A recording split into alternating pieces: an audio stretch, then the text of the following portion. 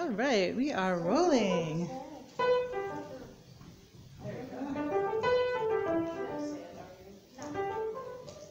We are rolling on this Sunday, November 14th. Yeah. and it may be chilly, but we do not have that four-lettered S word yet. Although we did have that a few weeks ago, we had a bit of snow falling down. But I think what they're predicting isn't gonna be anything of any consequence, so just, Just like an inch, maybe, they said. yeah, that melts in the afternoon. Not a biggie. Nothing you can do about it. Right, No. uh, dress warmly, right? Yep, dress them. Yeah, How pretty it is. all right. What's that? Layers. Stay- Layers, yeah, layers. Yep. One, two, three, four. You got your four layers We'll go ahead and sing the I thought she was cutting, I thought she was cutting off with the song. Oh, One, two, three, four. got it right. Yeah. And a one and a two. So we'll go ahead and sing.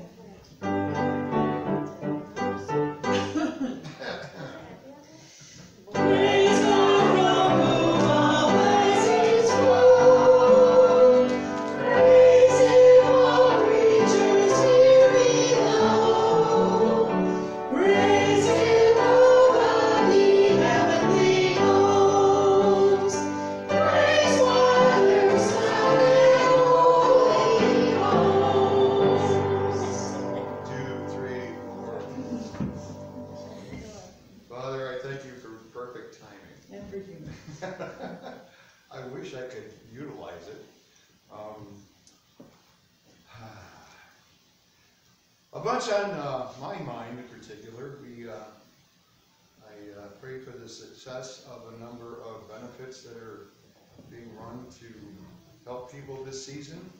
Um, Toys for Tots among them. Um, people, a lot of people in need and a lot of people reaching out to try to get them some help.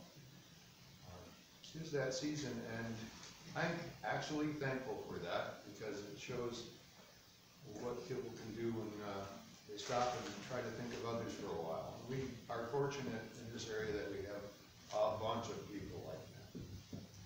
I could name names, but I'd better not. I'm very thankful for them. I asked your blessing on our effort to get together this coming Saturday. Bless that, that time. Um, asking prayer for a number of people who, uh, it would be a minor miracle if they see, uh, Christmas at all this year.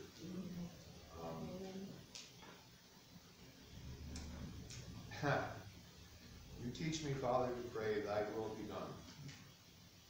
Comfort me in, in doing that. Saying it, not only saying it, but believing it and wanting so want my will and not yours so much of the time.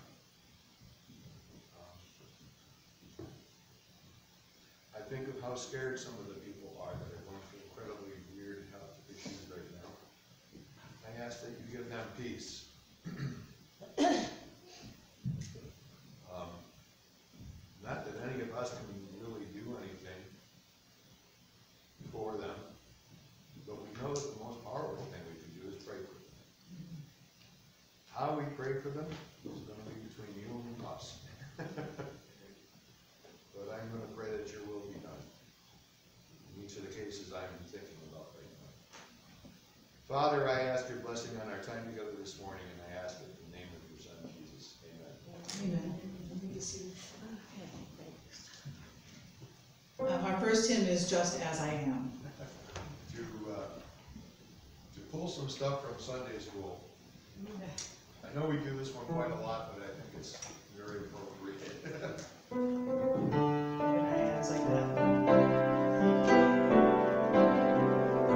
Number four seventy-eight.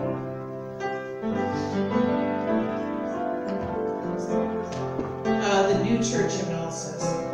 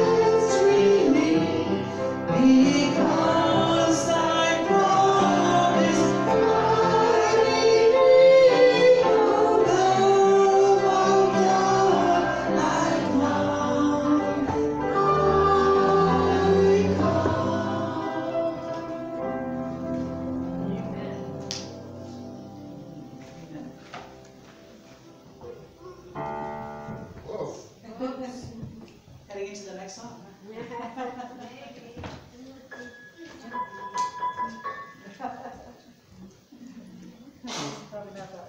See? I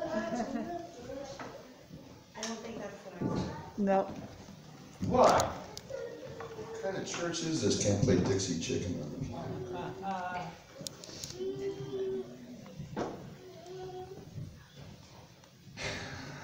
piano. That was a great concert. Yes, it was. That really was. Got to see some old friends Friday night. I don't know them from Adam, but man, their music has been with me for a very, very long time in all sorts of ways. And it was great to see a bunch of them together. Two really talented newcomers, and it was just outstanding. Kathy and I had a date night. Wonderful. Just wonderful. Yeah, a couple of the guys are getting older and everything, but they're just, They can play like crazy. they played like they were twenty or thirty again. It was great. Like in the seventies. Finally got Kathy up to see the group too. Little Feat, it was ah, awesome. She'd been waiting for as long as we were married to get.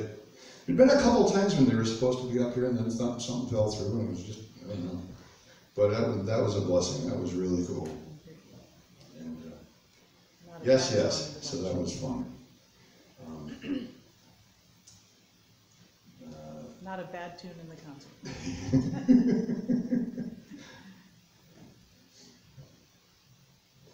Yes. So it's, it's like, don't you ever listen to the words? Well, some of the words I listen to here and there, and uh, some of the words are, I, I like some of their lyrics because they're quite ironic. Ironic or Go figure iconic? that. Huh? Ironic or iconic? Ironic. Ironic. That's what I used to appreciate. Still do. I don't really listen much to iconic lyrics. That's for you guys. but uh, yeah, that was fun. Needed needed some fun. Um, I'm. Uh, we're we're going to be praying hard for Missy and for other people as well. Um, she's inoperable. as I figured. So, and you know what that means, so. Well, depends on how you look at it. You know? You Maybe well done, good and faithful servant, you know? Yeah, you get home and you hear, you hear that, and maybe that's really good. Amen. It's, uh, how we, how we approach death, and, you know, as Captain Kirk famously said in The Wrath of Khan, how we look at death is at least as important as how we look at life. So, Jesus knew death. And still, still, he was praying, you know, in garden. If I don't have to, that's, that would be great. I don't, and if Jesus can do that, I, you know, we can't blame each other for being a little bit fearful about it.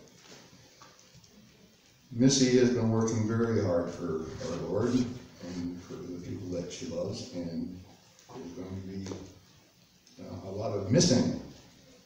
But, well, you can't be here forever. So, we went and saw Little Feat because you never know when Billy Payne might pass away or Fred Tackett or. So now was the time and we went. We had a great time. Now is the time. That's that's what it's all about. Now is the time. The gospel is about now, not later. later is dessert. Now is the meal that will feed you, give you nutrients to do the job. Dessert's reward. Um, I'm going to be in the book of Luke. You can, you can go wherever you'd like to. It'll be confusing though. And uh,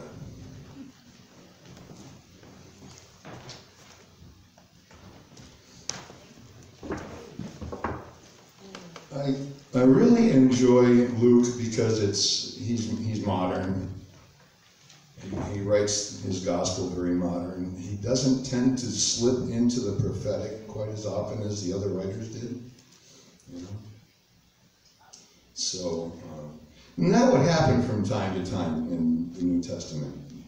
There'd be speechifying, and then somebody would dip into the prophecy, kind of, and, and echoing back to Jewish history. Not that uh, Luke wouldn't do the same sometimes, but because I mean the Spirit was leading the writers, and um, but they weren't dictating. They were uh, they were being in the Spirit as as they were recording this in whatever way they managed to get it recorded. Um, there's all kinds of arguments about that. and I don't care. it got recorded. It got recorded. See, isn't it ironic? Huh? Okay. Want me to tell you the story about Dixie Chicken? That's an ironic story. It's wonderful. Anyway. Especially the end. I'm thinking of what the guy looked like at the end of the bar in that song. He's like, ah. ha! Imagine that. Luke is bringing us uh, a chronological time or chronological timetable as best as he can of what Jesus was doing one day after another. Now you're you're going to see. We went over this that centurion who had the uh, beloved servant who was sick unto death that Jesus healed without even showing up at the house. He kind of hung out in the garage or the driveway, and the guy goes, "No, you don't even need to come in the house." You know, I, I, not found so so great a faith in all of Israel. The impact. Now we look at that verse, right? And I think we don't give it the heft that we maybe ought to. How many people are Jesus is Jesus talking about there? How big a place is he talking about when he says that? Several hundred thousand. At least. I say unto you, I have not found so great faith. No, he has not said. not in Israel. Everybody's looking for what chapter and verse you're in. Chapter 7, thank you. I'm sorry about that. I, that was a brain dead moment. You just said Luke, so we were in Luke, right? We're in Luke. With anticipation. With anticipation. Yes. right. See? Luke chapter 7. And I'm in verse 9. You can start wherever you want. We've gone over this and it's, it's amazing, but in Luke chapter 7, verse 9, Jesus heard these things, he marveled at him and turned him about and said unto the people that followed him, I say unto you, I have not found so great faith, no, not in Israel.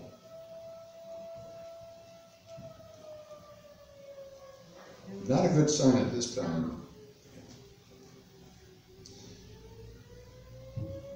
The people that heard Jesus say that,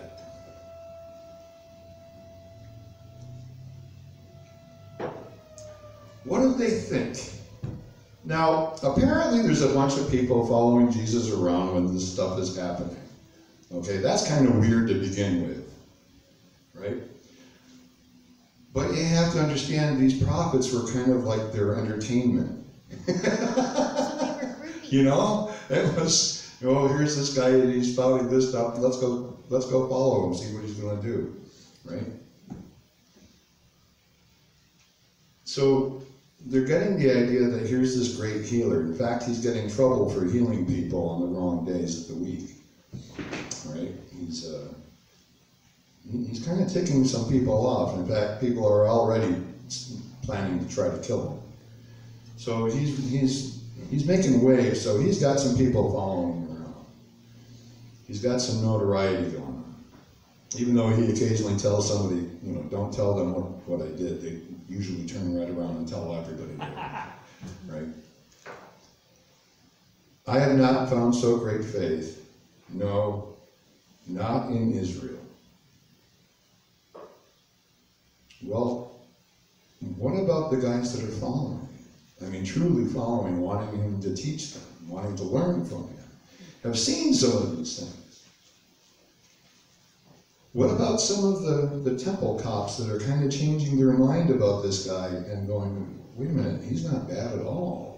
In fact, you know, he's he's what we've been promised, I think. You know? From Sunday school class in temple, right guys? Because you ladies you didn't know unless the guys told you. This could this be Messiah? Really? I mean, with all the prophets we got walking around town, could this really be the one? Huh. So you got people doing that. What, is, what does Jesus say? I've not found so great faith, no, not in Israel. I don't, all of it. That's got to hurt. Mm-hmm. Doesn't it? I mean, we look at that phrase and we go, yeah, yeah, oh, okay. But you don't dive into it. What is he talking about? How would you like to be, how would you like to hear that after following this guy for four months, let's say? Keeping tabs on him as much as you can on Facebook. Where's Jesus now? Well, you have that, obviously, but how would you feel? You've been doing everything you think is right. You'd be angry, I think. I'd be really angry. what are you talking about? No faith. I'd have slapped you. Right? They that were sent, returning to the house, verse 10, found the servant whole that had been sick. Huh. Wow. Proof. This guy didn't even have to show up at the house. But the centurion knew, right? Sister Amy and I were discussing that his his level of humility, and I was discussing with her the level of pragmatism the man had. This guy knew. He just knew. No. You don't even have to come in the house. you just say the word and it's done.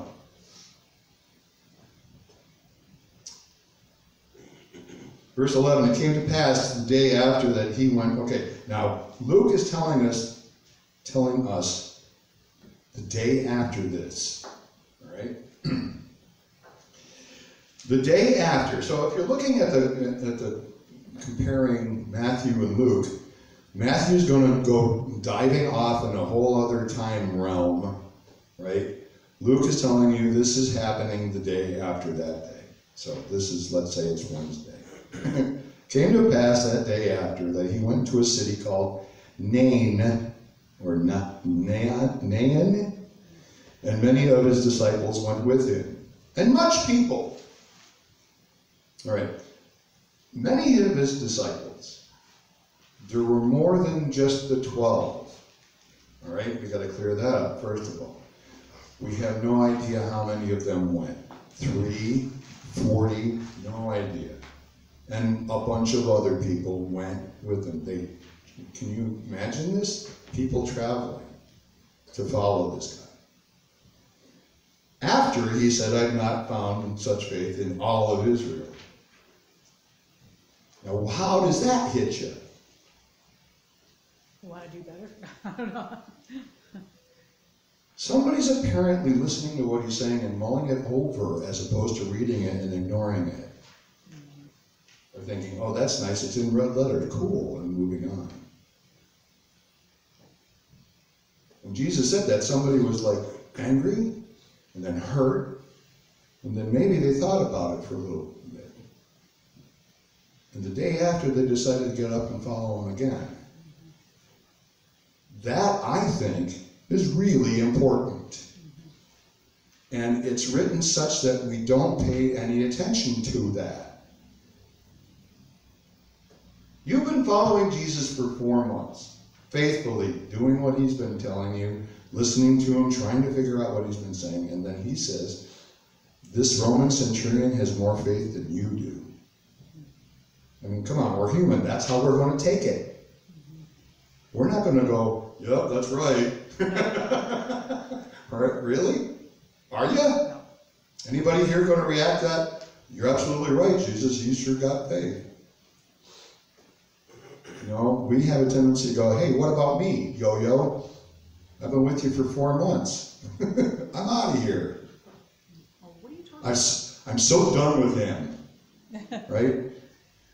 Can see, you know, one of the disciples on Facebook. I'm so done with Jesus. He just said that I wasn't, didn't have faith. Pat it. Talk to the hand, Jay.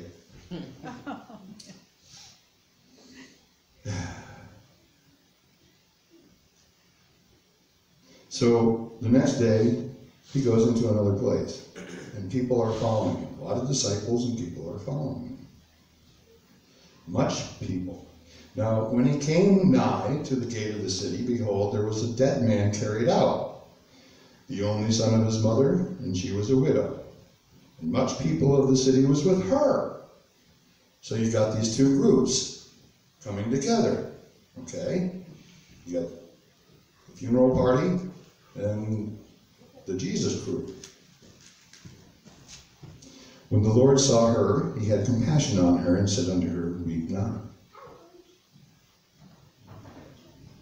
And he came and touched the This is bier or coffin. open casket, whatever it was that they had him in on. Where were they carrying him? To the Well, I mean, we don't know where in particular he's going to get buried. And this is back in the day when they didn't bury them all that deep. And this, usually, they, you know, depending on how, how much money the person had, they could buy a place to get buried or not. Or sometimes they just dump them out in the, the garbage pile out by the city, which happened a lot. Mozart was killed that mean, he was buried that way. In a poor man's tomb. Basically, in a big bunch of other dead people, you throw a little lime on top of it, and that's it. Have no idea about this guy, this guy was rich or not.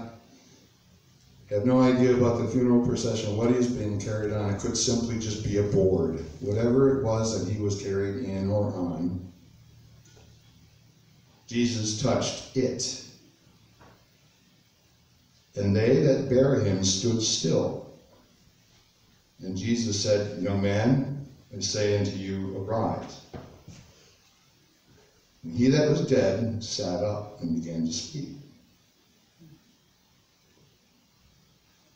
Wouldn't you love to know what he was saying?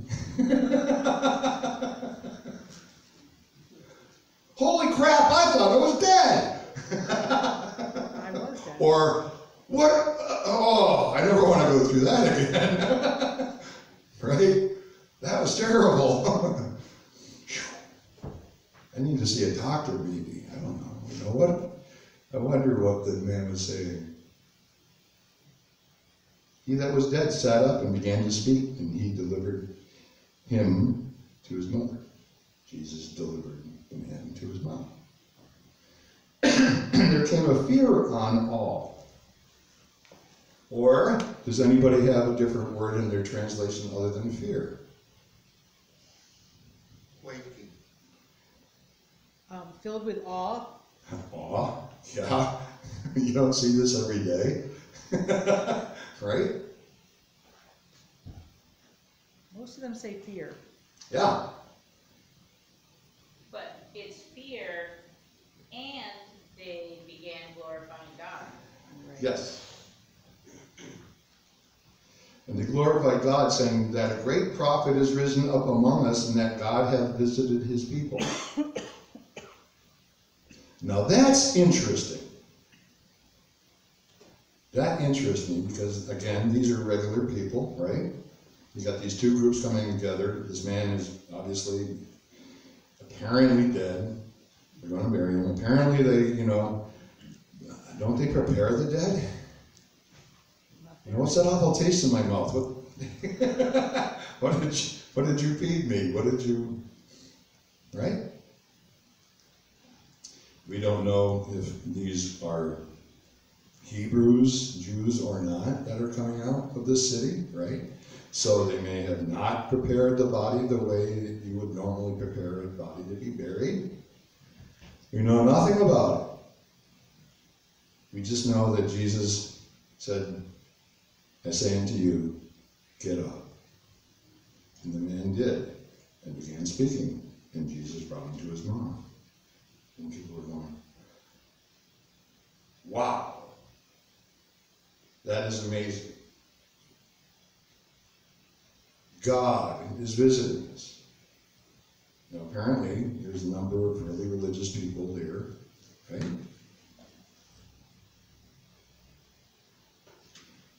There came a fear on all, and they glorified God, saying that a great prophet is risen up among us, and that God has visited his people.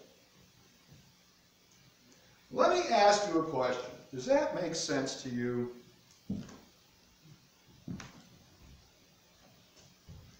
Think of the last funeral you were at, and somebody goes up to the casket, cracks it back open, and says, Get out of the casket, Bill. And Bill gets up out of the casket. What's your first thought? I need to change my pants. Because I just, you know, soiled myself. Your heart starts racing. As long as there's no old folks in the audience and, you know, in the funeral hall, the, okay, you guys are okay? No, no coronaries? All right.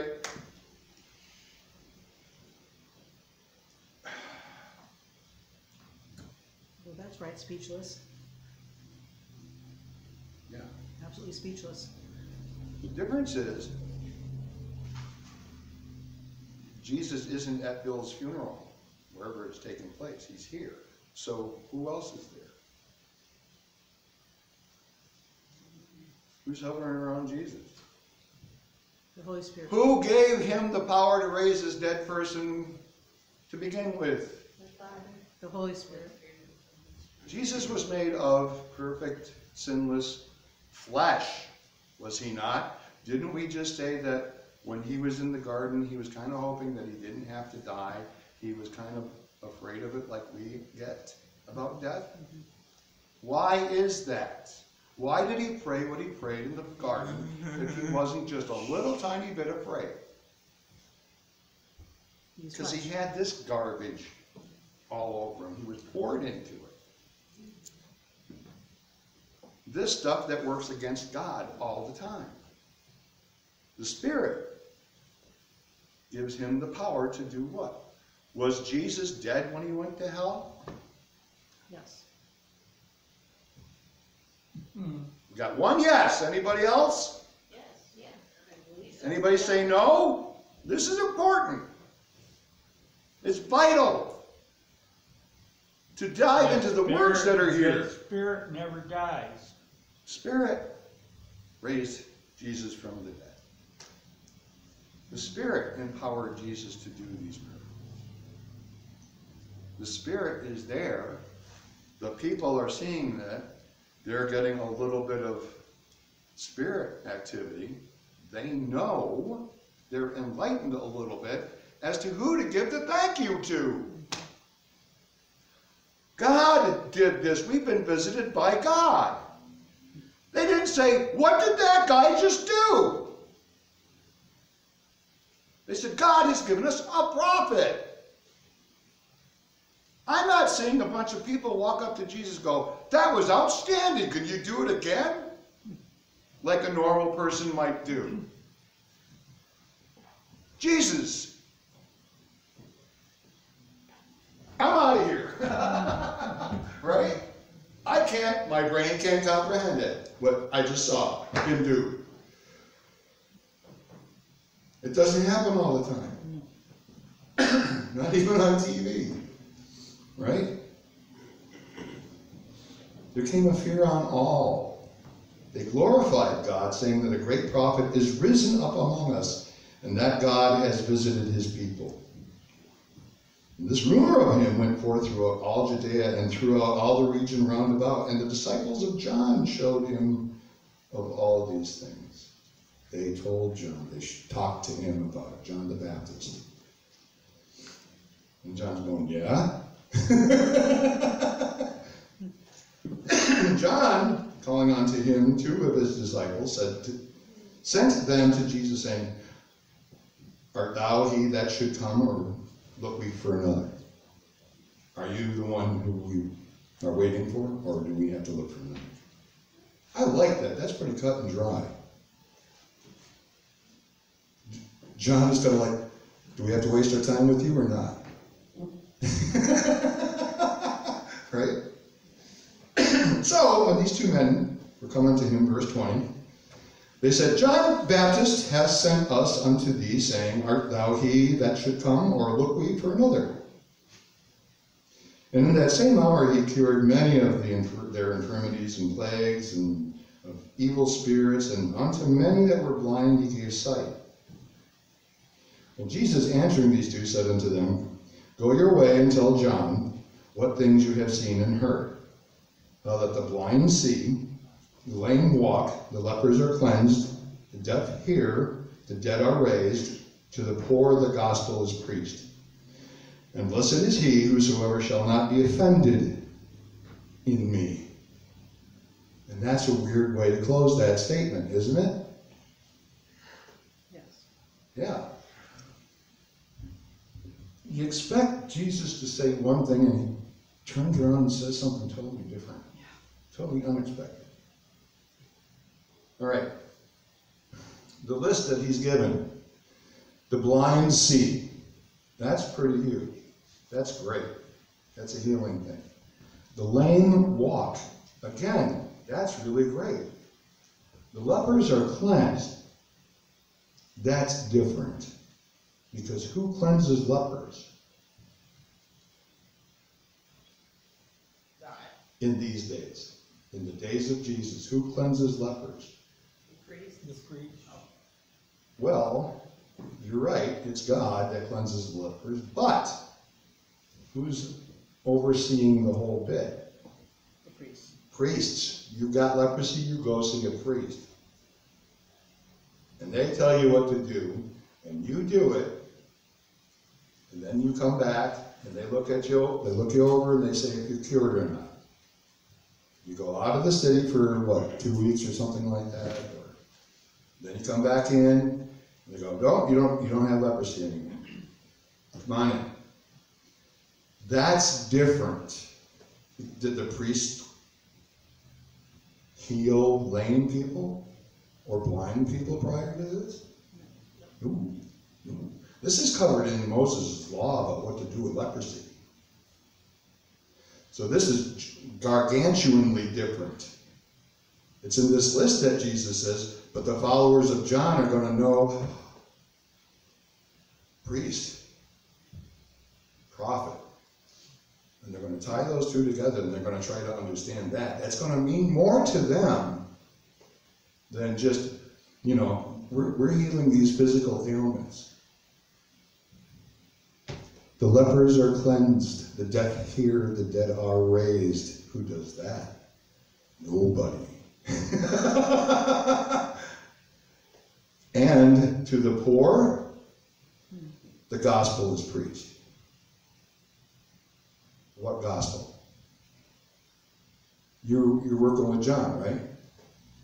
What gospel is he talking about? I think that people know The already. kingdom, And he, kingdom of heaven is here. the kingdom of heaven is here now. Are you him that we're looking for, or do we continue to look for somebody else?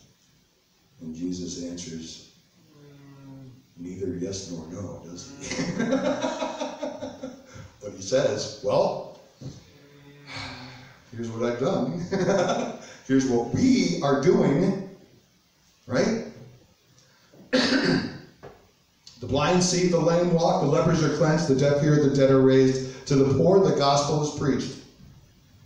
And blessed is he whosoever shall not be offended in me. Why would he say that?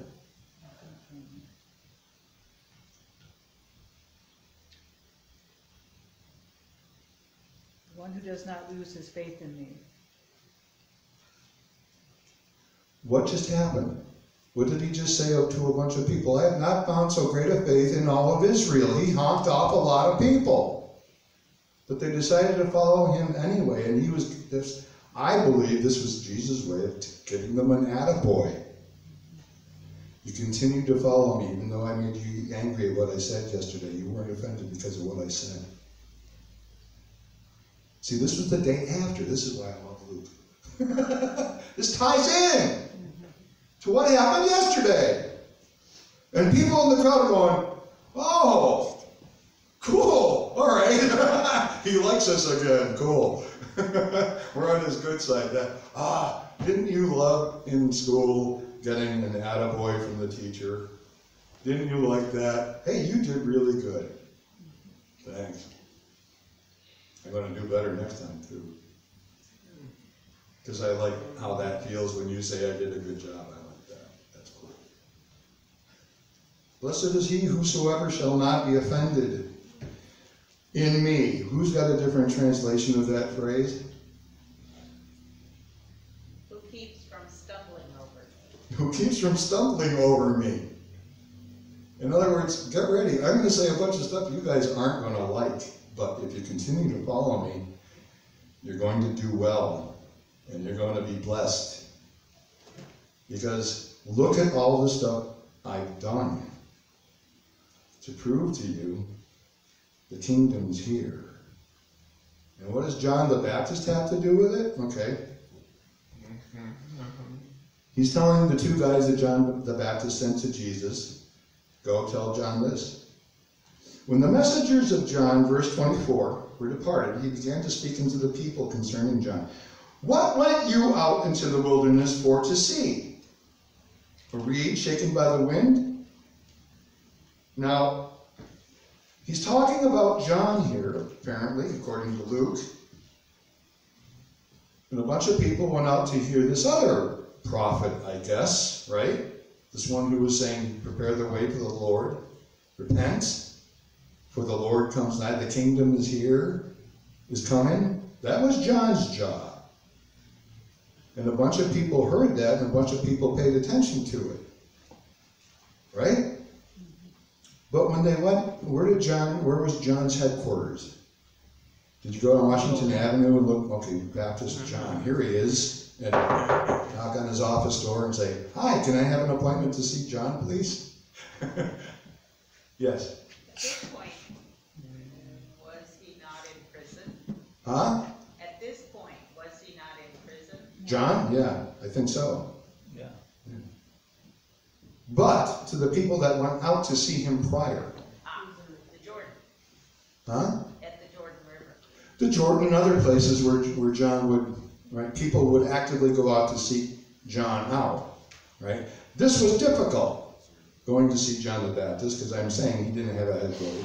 You couldn't just email him, it wasn't, you know. Where did John live? Wilderness.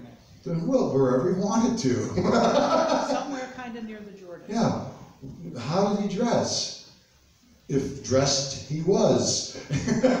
what did he eat? Do we know? Yes. This was, this man was crazy. He ate bugs and honey. Right? Yeah. Sometimes he'd show up, and all he had on was a bunch of leaves and stuff. Twigs, Animal skins. animal skins, sometimes with the little nose and the little eye still on it. he was gross.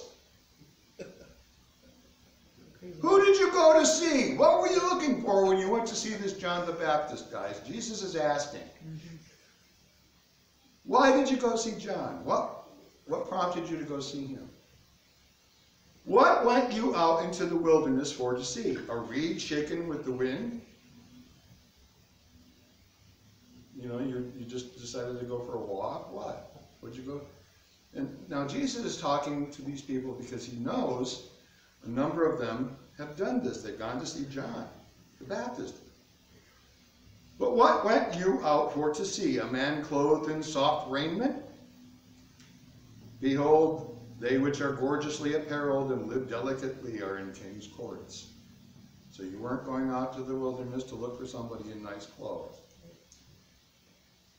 You went out to look for John. Why?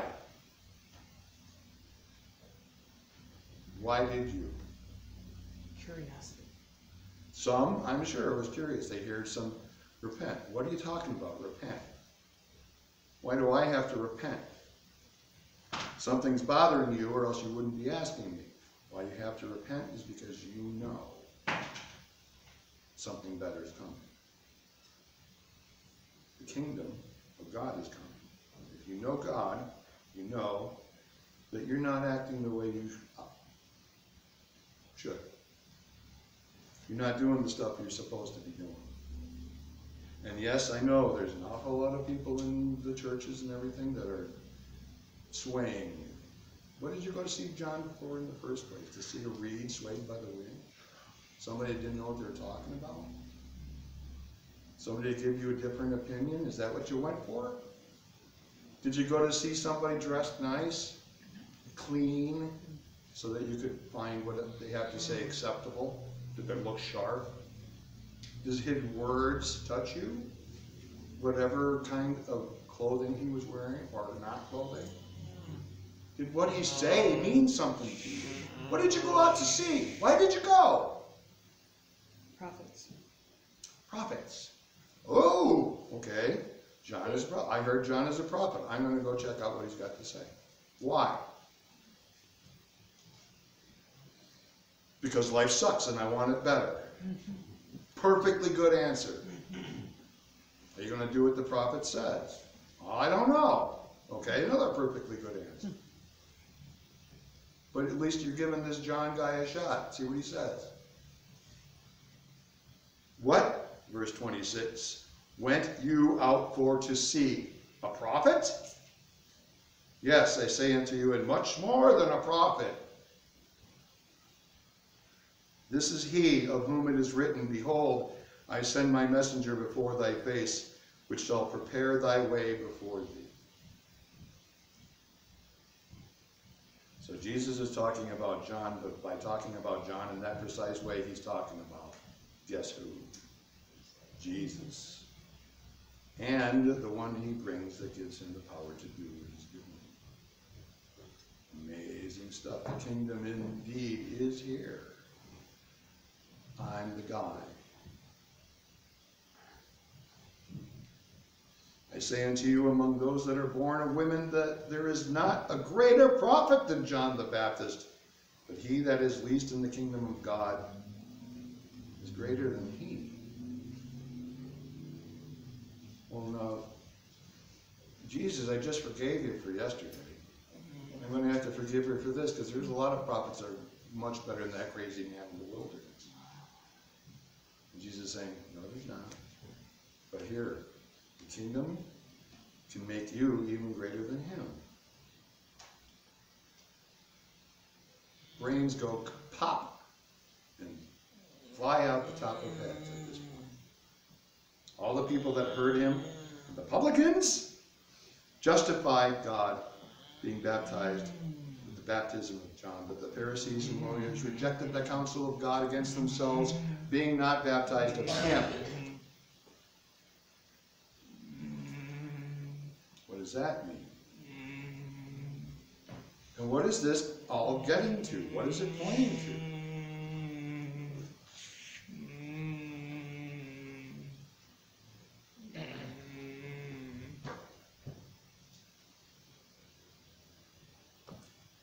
They didn't understand. Any questions? Yeah. Well, the Phar- Nothing but!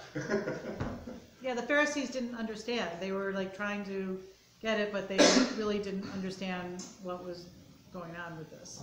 Was, it wasn't just the Pharisees, though. I think it's like the story that Jesus told about the, was it a, it was a tax collector and a Pharisee that were praying. And the man, the, Phar- the tax collector says, God have mercy on me. And the Pharisee says, Lord, I thank you, God, that you didn't make me like other people, especially like a tax collector. Yes. So, the tax collector went away forgiven, not the Pharisee, because he recognized that he had wrong stuff in his life. So that's where the people who went out to hear John, they recognized that they had wrong stuff in their life, and were gonna turn from it. What do The Pharisees were all self-righteous. what do you go to counseling for? Do you, do you, when you're seeking some help? Right? And you might not even know what kind of help to get. And you might be very confused about what type of help you should try to seek. What were these people's lives like? What was wrong? Why did they go to look to what, to see what John the Baptist had to say? Why wouldn't they? Sometimes it's simply they knew something was wrong, but they didn't know what, and they were willing to go the extra mile to try and find out and fix it. And it was no easy trip getting the job. No, it was not. That's what I was saying. He, he he didn't just have an office on Washington Ave. You couldn't make an appointment with the guy. You went to where you thought he might be, and he was either there or he wasn't. So you went to look for him. And if you found him, you did some work doing that. Why? Because you want some help. Something's wrong, and you're looking to see what this guy has to offer. Whether that's clear to you when you go or not, that's a different story. But something's not right. Correct? Yeah. You go to the walk-in, you're not feeling right. You know what's wrong? No, but something's not right. Or you get, you call the doctor. I mean, something's not right. Well, what's wrong? Well, I, I'm really not even sure. Something's off. Your life is off. What does this prophet have to say? Hmm. Maybe they can give me some advice. Maybe they can tell me what's wrong. Jesus is giving them three, uh, you know, did you go out looking to see a reed shaking with the wind? No. did you go out expecting to see a man in really nice clothes? No. Did you go out for a prophet? Yeah. yes, you did. Why? Ah, see, this is the kernel of what his speaking is about. Now, he just apologized for saying, I have not found such great, you know, great faith in all of Israel.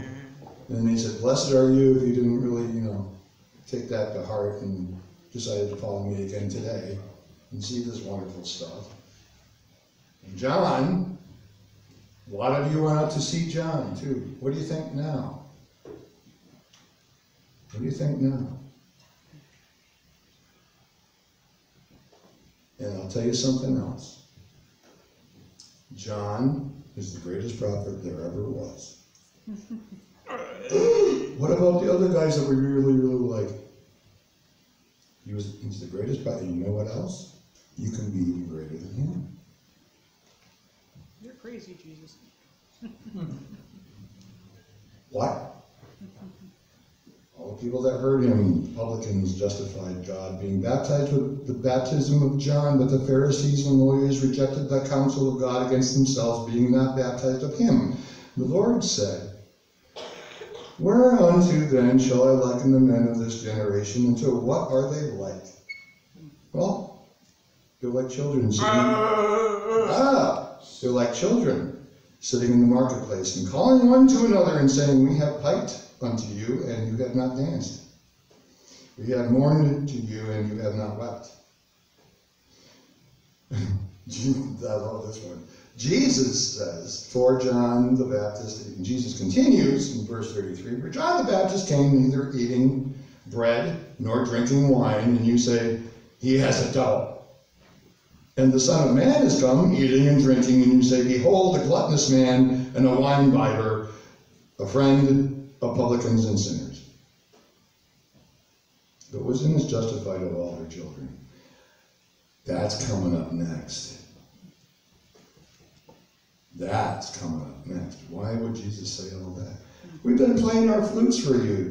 We've been playing jigs and reels and all kinds of wonderful Celtic stuff, and none of you are dancing. We've mourned with you, and you're, you're not crying. Don't you feel anything? What's going on? Why did you go seeking a prophet in the first place? Jesus is asking that. But he doesn't know, right? you came seeking a prophet. That's what you want. Why are you here? To hear God's word? Because you're supposed to because it's Sunday? Because you got an hour to kill? Why are you here?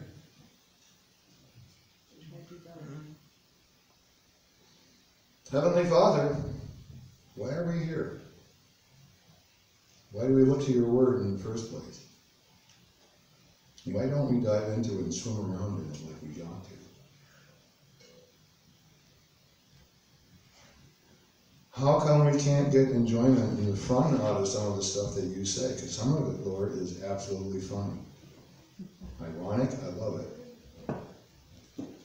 Some of it is mean to us.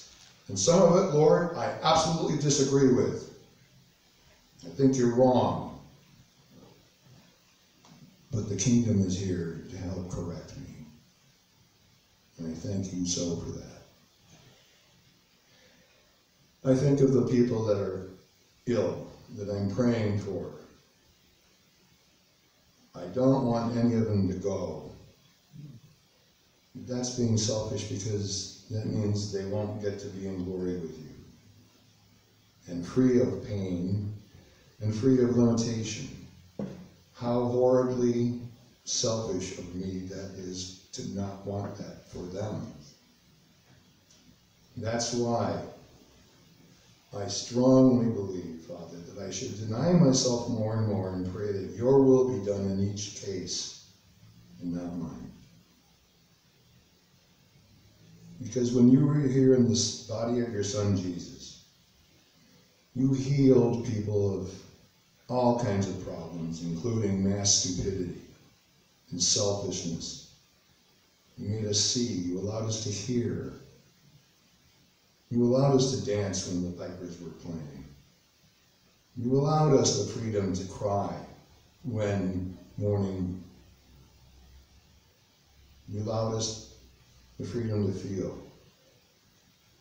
And to have the heart of your Son to be gracious, to be forgiving, to be strong in it, to be humble and understand that's the greatest strength there is. Especially because it's yours. Why are we here?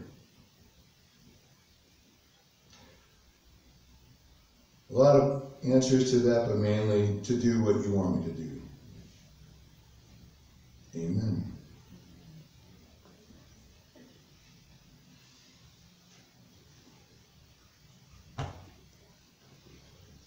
To be continued. Da da da. Watch next week. No vote here. Ah, That stuff's crazy. Can't you just give a simple gospel message? Yes. Jesus came to earth as a baby, lived 33 sinless years, died on the cross for your sins, went to hell, and rose again from the dead so that you could have life with him, everlasting, period. But there's a lot more to the story than that. And if you make it that simple, you're missing something. Because the picture of heaven, well, really nice, doesn't necessarily tell you what you've got to do today at 12:15.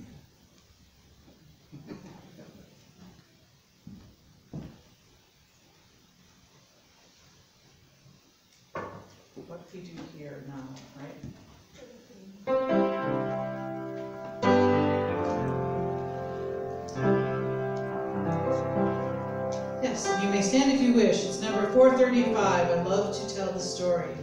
You gotta know the story to be able to tell the story.